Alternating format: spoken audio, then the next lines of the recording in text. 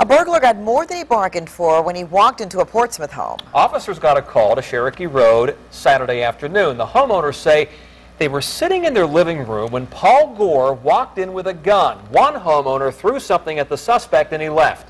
Police investigating the case arrested Gore. The 18-year-old now faces several charges, including attempted robbery and burglary. You're going to hear from the victims tonight at 11.